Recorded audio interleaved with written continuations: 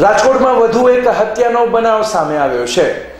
પત્નીના હાથે થઈ પતિની હત્યા. ગત તારીખ અગિયાર સપ્ટેમ્બરે મૃતક ભવાનભાઈ નકુમે તેની પત્ની વનિતા નકુમ દ્વારા અંગત કારણોસર મારવામાં આવ્યા હતા. છરીના ઘા, છરીના ઊંડા ઘા વાગતા મૃતક ભવાનભાઈ તારીખ અગિયારમી સપ્ટેમ્બરથી રાજકોટ સિવિલ હોસ્પિટલમાં દાખલ હતા.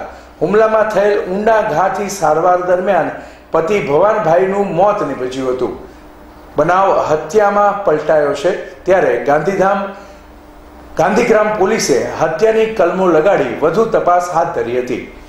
અહેવાલ વિજય મકવાણા. માનો ભાણજીભાઈ રવજીભાઈ નકુમ કિલો આપના ભાઈ ઉપર હુમલો થયો છે. શું વિગત છે?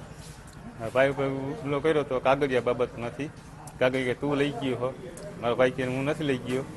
કે તું જ લઈ ગયો કે? કે હું નથી લઈ ગયો એમાં એ બાબતમાંથી તેને માથાકૂટ થઈ અને પછી છરી મારી દીધી લઈ. પેલા છોકરામાં જ રાખીએ ને આમ. છોકરાને બચાવવા ગયો ને તે આને કાલથી છોકરો હેઠે ઉતરી ગયો. ત્યારે છરી મારી હુમલો કર્યો? છરી મારી સાંજે દસ વાગે. તારીખો કઈ તારીખે? તારીખ અગિયાર. અગિયાર નવ. અગાઉ પણ આવું કઈ થયેલું હતું? અગાઉ કાંઈ નથી થયેલું. કોના દ્વારા હુમલો કરવામાં આવ્યો કા કાગળિયા બાબત હુમલો કર્યો? કોને હુમલો કર્યો? હવે કરવા દઈએ કઈ બેયને મનભેદ કે એવું કઈ કાંઈ એ આવી હતી ને હજી મહિનો નહોતો થયો વી પચીસ થયા હતા બીજાને લઈને વહી ગઈ હતી. એ પાસે બીજા ઓલો વ્યક્તિ બીજાને લઈને વહી ગયો આને મૂકી દીધી. આને છોકરા બાબત સંભાળી દે આને.